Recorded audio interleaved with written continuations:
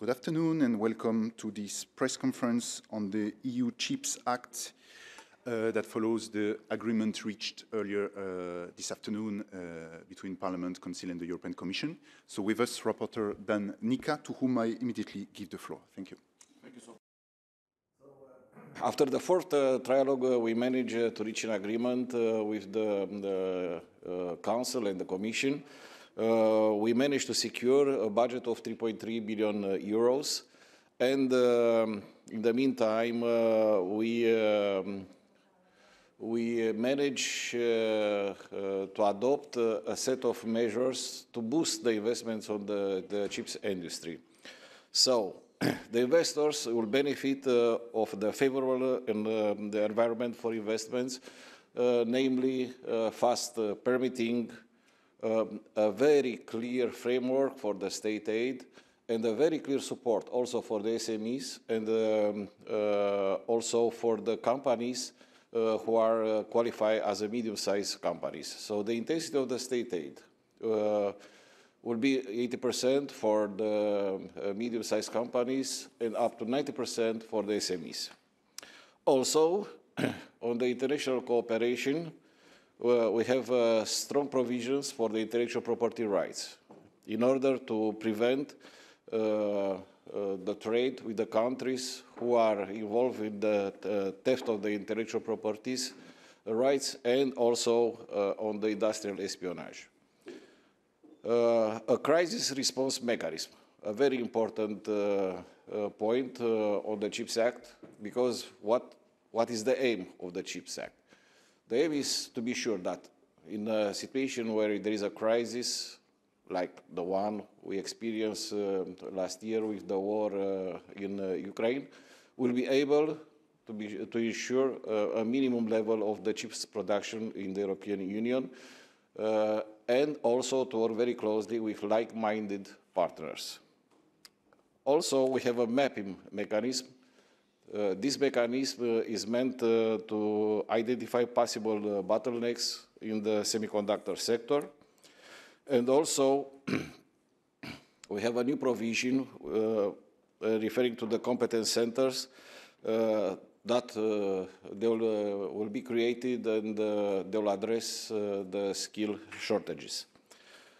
also, we have a list of critical sectors and um, uh, the critical sectors, they will, be, they will refer to the resilience of uh, critical entities directive, including defense and uh, security. And uh, uh, we have a very comprehensive list, so we know when the time will come on how to better uh, address and how to act in order to ensure that we will have a decent production of the chips inside the European Union, and also um, we'll have a production of chips of the, what you call it, state of the art. That means chips under the two nanometers. So this is a sh very short presentation of very important document. Uh, and uh, there is also the answer of the European Union uh, to the competition in the, this world, especially coming from the US with the famous IRA, and also is much there is an answer waited by many important investors because they want to start investment in the European Union. And for them, it was a key issue to have a, a clear uh, regulation. And this is the answer of the European Parliament and the Council and the Com European Commission. Thank you very much. Uh, we now have time for the Q&A session. Lorenzo, please. Consoli Askanews Italy. Uh, can you tell us um, what difference, what differences, what uh, modifications there are in comparison to the the position that the the, the council had uh, uh agreed in uh, in December, if I'm not wrong?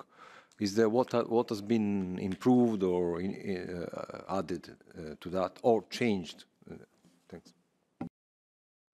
I should answer is how, how, how, much time do you have because there is an extremely long list of uh, uh, modification. It was a real uh, intense dialogue with the, the Council uh, and uh, with the Com European Commission. Uh, so let's start, let's start with the budget.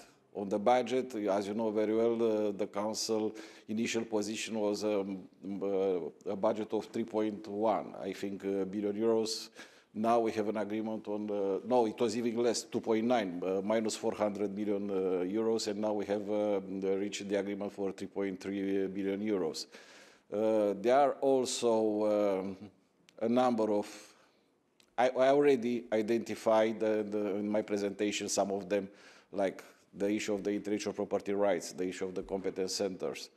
They are important uh, achievements because we, we, we, truly believe that uh, if you really are serious about the development of the chips industry in the European Union, we have to properly address the issue of the property, uh, intellectual property rights, international cooperation, and also the, the competence centers, uh, which was something uh, we insisted very much in it. Thank you very much. Yes, please. Uh, good afternoon, Pietro Guastamacchia, ANSA News Agency. Um, you mentioned there will be some tools related to avoiding uh, um, industrial espionage and property, intellectual property theft. Uh, can I ask you to briefly elaborate on what kind of tools we're talking about? didn't go on the specifics on how to tackle uh, or how to identify the industrial espionage or uh, the, the, the, theft in the area of the intellectual property rights.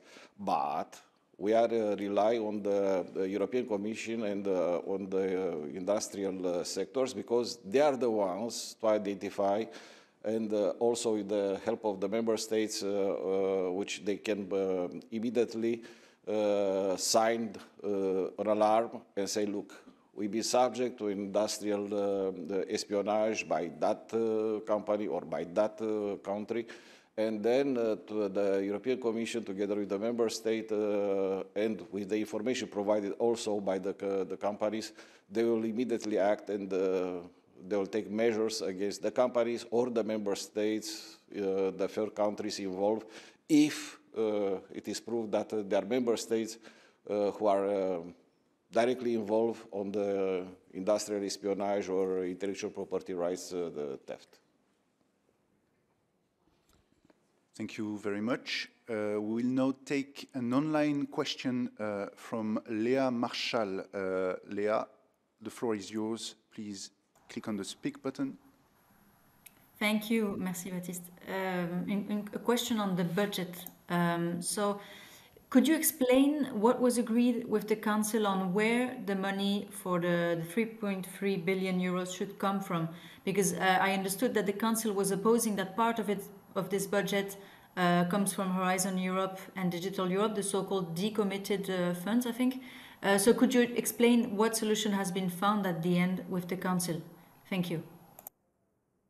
Uh, so following an extensive discussion uh, this morning uh, with the Council and with the support of the European Commission, we found a way how to, Uh, where to find the money to, to compensate that uh, the reduction of 400 millions, which was the original position of the Council. So the money, they will come from uh, decommitments, the money, they will be provided from some cuts, from cuts from uh, some areas, uh, some clusters in the Horizon Europe, but not to be touched those clusters which they have no correlation or uh, no direct uh, connection with the, the, the chips uh, industry as such.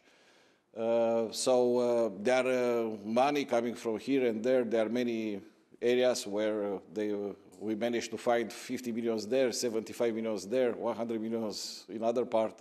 But for us, what is important, that we managed to find a solution and to have a, a, a joint statement about the budget of 3.3 billion euros, and that's an important signal. Thank you. Any further question? It does not seem to be the case. Ah, I see online, uh, Li Wenyi, you have the floor. Please click on the speak button. Hello, um, could you hear me? Yes, we can hear you. Okay, I have some problem turning on my camera, I think. Um, so I'm a reporter from Taiwan's Business Weekly magazine. I just have a question on um, comparing with the US CHIPS Act, which would provide up to 15% of the entire project capital expenditure. What is competitive in the EU CHIPS Act to attract foreign companies like TSMC? And would you say a joint venture with European companies would be something that the CHIPS Act is looking at? So, uh, as I mentioned, uh, we have only minimum limits in the Act for the, the medium-sized companies or small-sized uh, companies. Uh, for the big uh, companies like uh, the, the company, you name it, or there are some other companies from the US, already who already expressed their interest to, to build their uh, mega factories in the European Union, uh, there is no, we don't have a limit for that. So on the state aid, uh, we think that uh, whatever it will be the level accepted and checked by the DG competition, because there are rules for the state aid in the European Union, uh, that level uh, will be the level for the investments in the EU we are in a very competitive uh, situation and uh, we have a competitive advantage, uh, let's say, with the US. Uh, because the US, uh, the European uh, Union market, it is a very competitive market. We have a lot of skills, a lot of tradition in the high technology, and don't forget that the machineries used on the chips industry, they are made only in the European Union. Thank you. Any further question? Then let me thank you all and ha have a very good afternoon. Thank you. Thank you.